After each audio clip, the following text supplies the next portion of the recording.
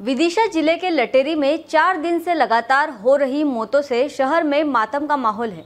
आपको बता दें कि रविवार शाम को मकसूदनगढ़ से आते वक्त चंदेरी की नदी पार करने के दौरान दो युवक पानी के तेज बहाव में बह गए थे। जिसकी जानकारी लगते ही पुलिस प्रशासन और युवकों के परिजन मौके पर पहुँचे, जो पूरी रात दोनों युवकों की तलाश में लगे रहे, लेकिन सुबह तक भी दोनों में से किसी का शव बरामद नहीं हो पाया।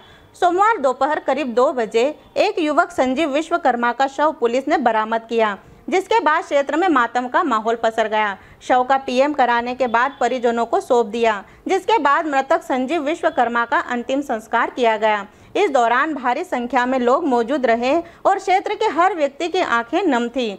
पुलिस प्रशासन को बुधवार करीब चार बजे दूसरे युवक का शव भी बरामद करने में सफलता मिली, जिसे लटेरी लाकर पीएम कराया गया। इसी दौरान एक और घटना ने क्षेत्र में दुखद माहौल खड़ा कर दिया।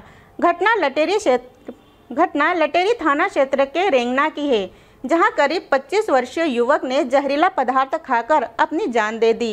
मामले की जानकारी जैसे ही परिजनों को लगी, परिजनों ने तत्काल उसे उपचार के लिए लटेरी स्वास्थ्य केंद्र लेकर आए, जहाँ डॉक्टरों ने युवक को मृत घोषित कर दिया। इस युवक के शव का पीएम होता। इससे पहले एक घटना और सामने आई। उधर मुरवास थाना क्षेत्र के ग्राम बांसखेड़ी में एक युवती ने खुद जहरीला पदार्थ खाकर अपनी जान दे दी।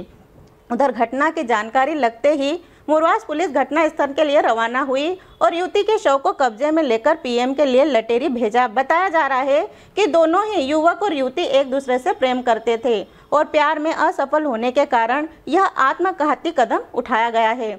बहरहाल पुलिस मामले की जाँच कर रही है। पुलिस का कहना है कि जाँच करने के बाद भी मामले में आगे कुछ कहा जा सकता है। विदिशा पठारी से आशीष सहले की रिपोर्ट।